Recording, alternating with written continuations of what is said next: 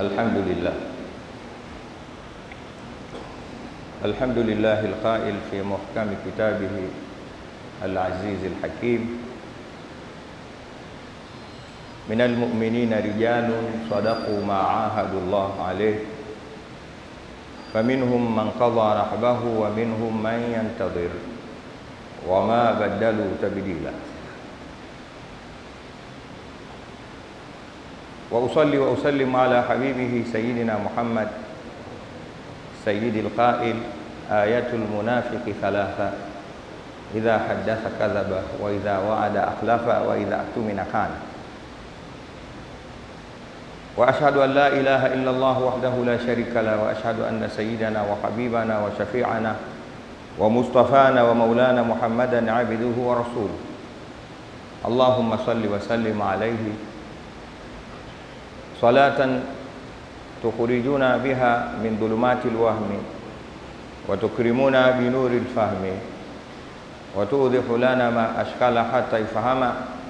إنك تعلم ولا نعلم وأنت علام الغيوب. رب اشرح لي صدري ويسر لي أمري. واحلل عقدة من لساني يفقه قولي. أما بعد فيا عباد الله ويا أيها المؤمنون الكرام أوصيكم ونفسي المذنبة بتقوى الله تعالى وطاعته. فعلينا وعليكم بتقواه حق تقاته ولا تموتن إلا وأنتم مسلمون. أيها الناس عليكم بتدبر ما يقول مولاكم الكريم في محكم كتابه العزيز الحكيم wa aufu bil ahdi innal ahda kana mas'ula. Watukufu Waislamu, awali ya yote ni jukumu letu kumhimidi na kumshukuru Mwenyezi Mungu Subhanahu wa Ta'ala, Mwenyezi Mungu ambaye anatuneemesha kwa kila aina ya neema. Miongoni mwazo ni hii taufiki yake ya kutukusanya katika mchana huu wa leo katika Ijumaa hii nyingine ya mwanzo katika mwezi wa mfungo saba, mkusanyiko ambao anauridhia kuliko mikusanyiko yoyote katika wakati kama huu. Mwenyezi Mungu Subhanahu wa Ta'ala, tunamuomba mwanzo atuwafikishe na atukubalie lengo na maana ya kuitikia wito wake huu.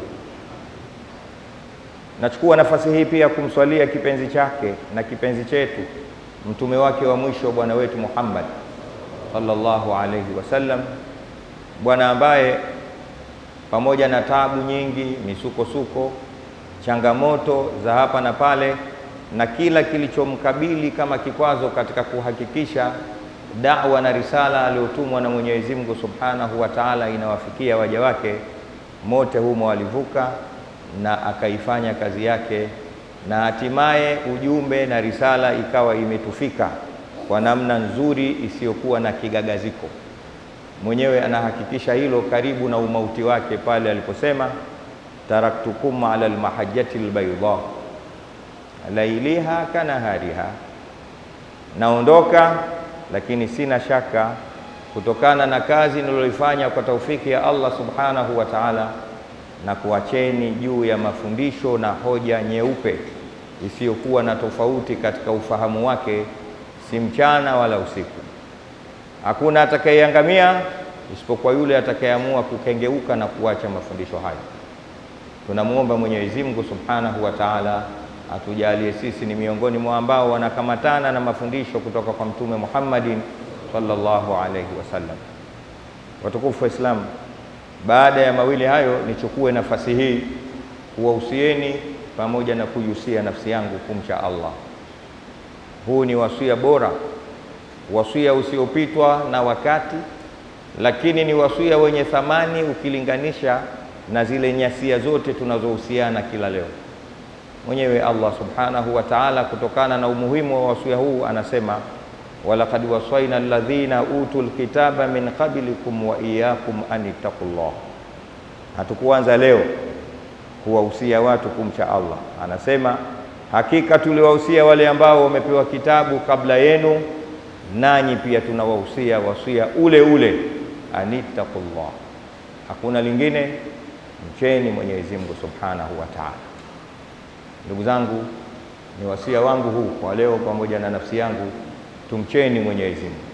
Mafanikio yetu duniani na akhera hayapatikani isipokuwa kwa kushikamana na kumcha Allah subhanahu wa ta'ala.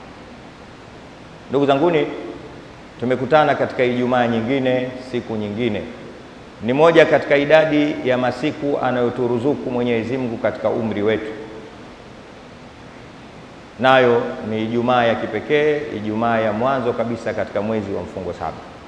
Ujumbe wangu leo utakamatana na maneno ya Allah subhanahu wa ta'ala unaopatikana katika suratu Al-Isra, sehemu ya aya karibu na mwisho pale aliposema wa aufu bil ahdi innal ahda kana mas'ula.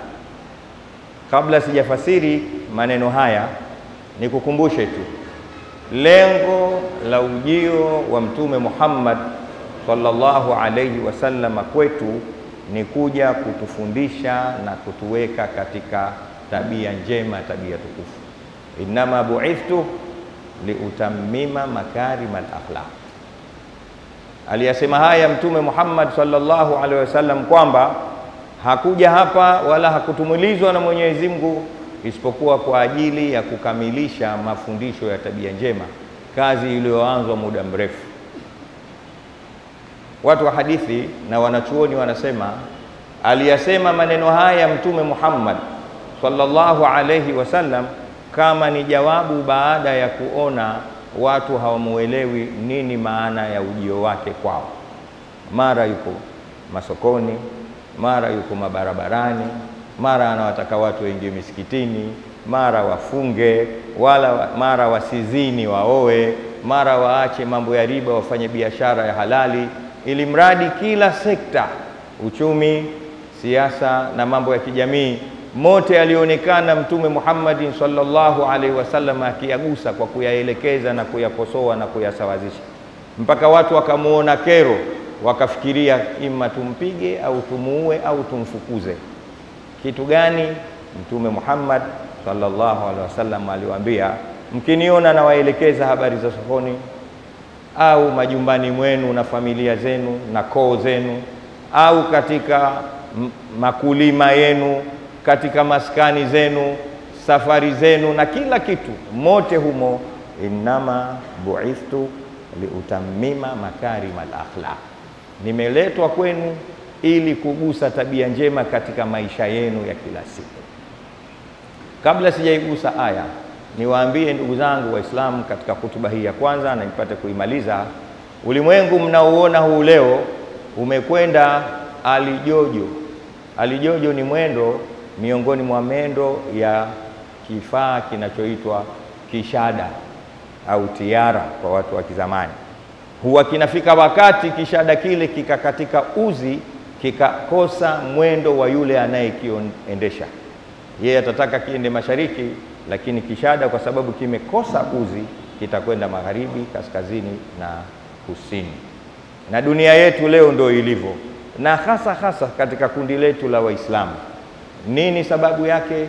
Watu tumekosa tabia tukufu au tumeziacha yale aliyokuja nayo Mtume Muhammad sallallahu alaihi wasallam, kiasi ambacho mmoja katika wanachuoni wanasema innamal umamul akhlaqu ma baqiya fa inhum dhahabat akhlaquhum dhahabu, ulimwengu na umma na jamii inazingatiwa kama hii ni jamii bora, watu wako hai ni kwa sababu tu ya kushikamana na mafundisho ya tabia njema aliyokuja nayo Mtume Muhammadin sallallahu alayhi wasallama. Wakikosa kushika mafundisho ya tabia njema, maana yake na wao hawapo. Ndipo Allah subhanahu wa ta'ala akamsifu mtume wake Muhammadin sallallahu alayhi wasallam, wa innaka la ala khuluqin adhim, hakika wewe juu ya mambo haya uko juu ya kilele cha tabia tukufu, na watu wakufuate katika hilo. Barakallahu li wa lakum bil Qur'ani al azim wa nafa'ani wa iyyakum mimma fihi min al ayati wa dhikri al hakim aqulu qawli hadha wa astaghfirullah al azim li wa lakum wa lisaili al muslimina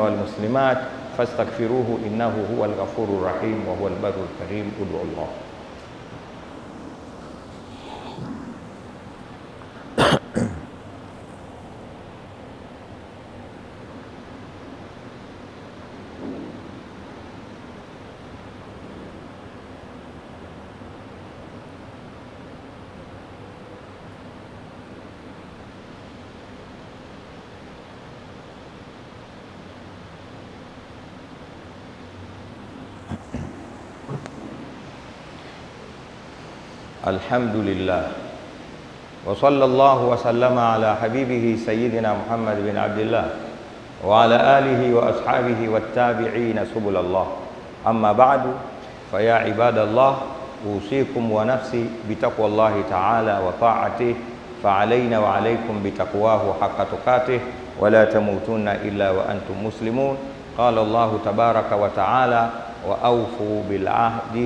innal ahda kana mas'ula. Ndugu zangu, baada ya kumshukuru Allah subhanahu wa ta'ala kwa mara nyingine, vile vile kumswalia kipenzi chake mtume wake wa mwisho bwana wetu Muhammad sallallahu alayhi wasallam, nirudie katika hutuba hii ya pili kuwahusia kwa wasia ule ule wa kumcha Allah, kuhusikum wa nafsi bitaqwallah. Tumcheni Mwenyezi Mungu na tujitahidi sana, na wahusia ndugu zangu kumcha Allah mpaka pale atakapotukuta mauti yetu yatukute ile hali sisi tunahesibiwa katika kundi la Mwenyezi Mungu almuttaqun. Mwenyezi Mungu tujalie katika kundi la waja wako hawa. Miongoni mwa tabia alizokuja kuzifundisha Mtume Muhammad sallallahu alaihi wasallam ni jambo zima la kutekeleza ahadi. Leo ulimwengu wetu umeingia katika karitha hiyo, katika janga la watu kutotekeleza ahadi sio kutekeleza ahadi na Mwenyezi Mungu tulizoahidiana nazo, wala kutekeleza ahadi ya sisi kwa sisi. Moja katika kundi ambalo Mwenyezi Mungu Subhanahu wa Ta'ala analizingatia ni kundi lililookoka, ni watu waliotekelezeana ahadi na yeye, akawasema minal mu'minina rijalu, miongoni mwa waumini, sio wote, kipo kikundi kipo kipote katika waumini. Mwenyezi Mungu mwenyewe amethibitisha ala annahum rijal, wana sifa ya rujula, ujana dume, kwa maana anayojua Mwenyezi Mungu Subhanahu wa Ta'ala. Wamepataje sifa hii? Kwa kuoa sana. Wameipata sifa hii kwa ushupavu wa nguvu zao na vifua vyao? La, minal mu'minina rijalun sadaqu ma ahadullah alayhi katika waumini lipo kundi hili la wanaume hawa, kilichowafikisha ni kule kuswadikisha na kutekeleza yale walioahidiana na Allah subhanahu wa ta'ala. Faminhum man qadha nahba, kuna waliokufa katika mazingira hayo ya kupambana juu ya kutekeleza ahadi zao na Allah subhanahu wa ta'ala. Faminhum man yantadhir, kuna wengine mpaka leo wanakaribia kufa, wanasubiri, wapo katika kutekeleza ahadi za Mwenyezi Mungu. Amesema waminhum man yantadhir, kwa kujua wapo katika hali ngumu juu ya ulimwengu tuliokuwa nao. Mwenyezi Mungu atujalie sisi katika kundi hili. Allah Allah, ndugu zangu, tutekelezeni ahadi. Huu ndio ujumbe wangu wa leo. Mtume Muhammad sallallahu alayhi wasallam anasema katika lile kundi baya ambalo wanaingia darkul asfali minan nar, katika ule moto unaowaka kwa spidi ya juu kabisa, voti yake sawa sawa, si sawasawa na sehemu nyingine ya moto, ni wanafiki. Mwenyezi Mungu anasema hivyo. Mtume Muhammad sallallahu alayhi wasallam anasema alama za hawa ni aya mambo matatu. Ayatul munafiqi thalath, ni mambo matatu. Kwanza, idha hadatha kadhaba, ni waongo, waongo kwa wenzao, lakini inafika wakati kujiongopea hata wao wenyewe. Ipo sehemu mtu wewe mwenyewe unajiongopea, mimi najua ilhali ujui, ni uongo. Mimi ni mzima ilhali mgonjwa, ni uongo. Mimi naweza ilhali uwezi, ni uongo wa kujiongopea mwenyewe. Na ukianza kujiongopea mwenyewe, ni rahisi kumwongopea asiyokuwa wewe. Mwenyezi Mungu atukinge na hili. Mnafiki alama yake ya kwanza ni muongo, idha hadatha kadhaba. Na kila siku tunasema leo uongo umechukua nafasi kubwa katika jamii tunayoishi. Imefikia wakati tunabadilisha majina ya uongo, ni kitu cha kawaida. Fiksi ndo uongo, shule ndo uongo, sanaa ndo uongo. Usisikie mtu ambaye huyu msanii ukadhani ni mcheza ngoma na mwimu, ni muongo. Huyu profesa, basi mpaka lugha zimebadilishwa. Ukisikia yule nampiga saundi, ujue anamuongopea. Mwenyezi Mungu atukinge na, na jambo hili. Idha hadatha kadhaba wa idha waada akhlafa, mahalu shahidi katika waadhi wetu na hutuba yetu ya leo. Na hapa akiahidiana na mtu na Mungu, basi na hata watoto wake ukhalifu. Kuna kitu hichi unaweza kuona kitu cha kawaida tu, unaahidiana jambo na watu unaowaweza ambao hawakuwezi hawa kwa lolote, wewe unawaweza na ukaahidiana nao kwa kuzingatia nafasi yako, itekeleze bwana. Ukiwa mwanasiasa tufanyia kadha wa kadha, e bwana, itekeleze. Ukiwa mwalimu itekeleze. Ukiwa baba kwa familia yako itekeleze. Ikiwa mume kwa mkeo itekeleze. Ikiwa mke kwa, mke, kwa mumeo itekeleze. Ikiwa rafiki kwa rafiki yake tekeleza. Ukitotekeleza umepata sehemu katika alama za unafiki. Mwenyezi Mungu atukinge katika haya. wa idha tumina khana, na akiaminiwa mnafiki, basi yeye majibu yake ni kufanya khiana. Haaminiki kwa chochote, si kwa pesa, si kwa maneno. Basi hata ukimkabidhi msikiti kama huu, tunakuamini wewe, tuendeshee msikiti kama huu, atafanya khiana. Mwenyezi Mungu atukinge kahali. Mwisho, miongoni mwa sehemu mbaya kabisa ni masala ya siri. Siri unaweza ukamwamini mtu kutokana na maumbile ya kibinadamu. Mwenyezi Mungu ametujalia binadamu huwa akafikwa na jambo likabaki katika nafsi yake, na lisipotoka linaweza likamuua au likampoteza akili. Nini cha kumnusuru? Lazima ampate mtu amwambie. Ile kusema sawa sawa na kulia, sawa sawa na kucheka ni dawa. Kuna baadhi ya mambo yanamshika binadamu, lazima apate mwenziwe amwambie msiri wake, e bwana, nina na jambo kadha na kadha, lakini usimwambie mtu, msikilize yule anayopokea jambo lile, hawezi kukaa nalo.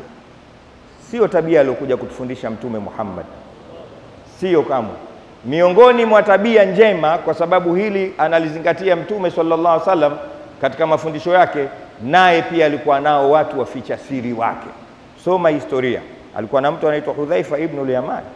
Hudhaifa ibnul Yaman alikuwa anajua siri za Mtume sallallahu alaihi wasallam, akiwa anampa mtu, na mwisho watu walimfatafata kutaka kujua, lakini hakuwaambia siri zake, mpaka watoto wa Mtume Muhammad aliomwacha na Fatima siku moja alimfata Saidina Umari alimfata, kila mmoja kwa wakati peke yake. Kuna kitu anataka kujua.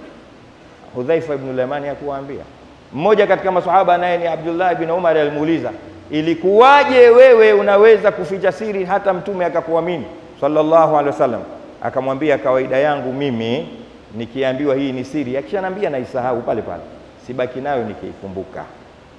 Ndio mmoja katika wanachuoni wakubwa kwa kuzingatia tabia hii ni tabia ya kiungwana, alikuwa anasema sudurul ahrari, yani vifua vya waungwana.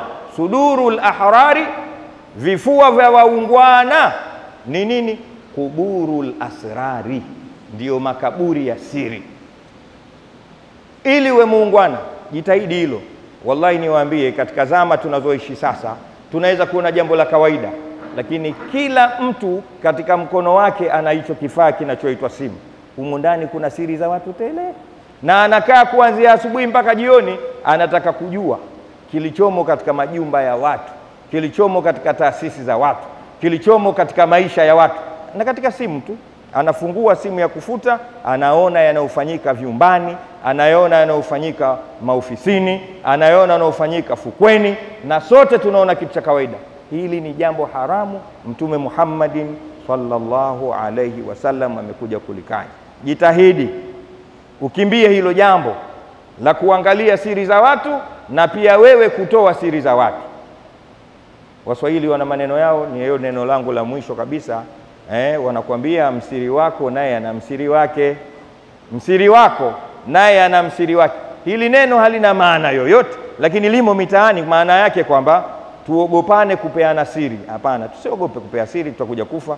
Tuwatafute watu makini waliokuwa na malezi ya Mtume Muhammadin sallallahu alaihi wasallam, na tujipambe na sisi wenyewe kwa malezi hayo, ili tuishi katika namna aliyotaka Allah subhanahu wa ta'ala, kama alivyompenyezia hiyo mtume wake Muhammadin sallallahu alaihi wasallam. إن الله وملائكته يصلون على النبي. يا أيها الذين آمنوا صلوا عليه وسلموا تسليما. اللهم صل وسلم على سيدنا محمد بقدر حبك فيه وزدنا يا مولانا حبا فيه. بجاهه عندك فرج عنا ما نحن فيه. إلهي لا نسألك رد القضاء بل نسألك اللطف فيه. وعلى آله وصحبه وسلم. وارض اللهم عن جميع صحابة رسولك محمد صلى الله عليه وسلم منهم سيدنا أبي بكر الصديق وسيدنا عمر الفاروق وسيدنا عثمان بن عفان وسيدنا علي بن أبي طالب وجميع المؤمنين والمؤمنات والمسلمين والمسلمات الأحياء منه والأموات إنك غفور جواد كريم رؤوف رحيم. اللهم أعز الإسلام والمسلمين وأذل الشرك والمشركين ونكس أعداءك أعداء الدين واختم لنا بخير منك يا أرحم الراحمين. اللهم إنا نسألك زيادة في الدين وبركة في العمر وصحة في الجسم وسعة في الرزق وتوبة قبل الموت وشهادة عند الموت ومغفرة بعد الموت وعفوا عند الحساب وأمانا من العذاب ونصيبا من الجنة. وارزقنا النظر إلى وجهك الكريم. برحمتك يا أرحم الراحمين. عباد الله إن الله يأمر بالعدل والإحسان وإيتاء ذي القربى وينهى عن الفحشاء والمنكر والبغي.